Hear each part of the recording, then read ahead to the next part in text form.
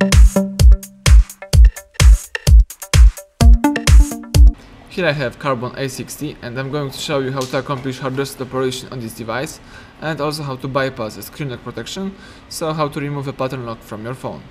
At the very beginning hold down the power key for a few seconds, then tap power off and confirm the operation by tapping OK. Wait until your phone is completely switched off and then use the following combination of keys, power key and volume up. Hold down together these two keys for a few seconds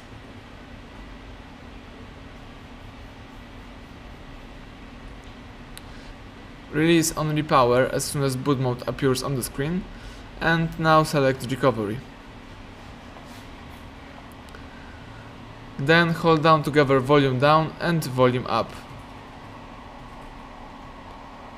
When the selector turns on again, choose recovery one more, one more time and then hold down volume down and volume up one more time. Excellent.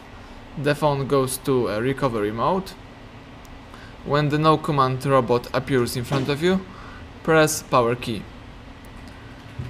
The Android system recovery just pops up. You can navigate here by using volume down.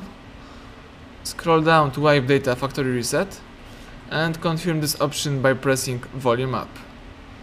Now you have to scroll down to highlight yes delete all user data by using volume down and press volume up to confirm this operation.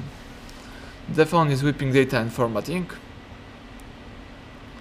Now all you have to do is simply press volume up to reboot system now. The phone is rebooting and resetting.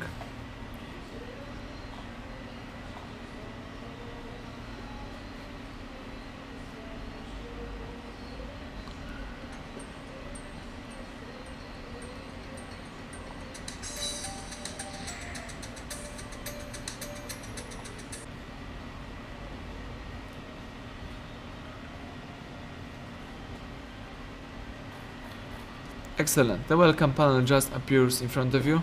It means that the hard reset operation has just been accomplished successfully. As you can see, there is no pattern lock on your screen, so you can start easily activate your device. Thank you for watching, please subscribe our channel and leave thumbs up under the video.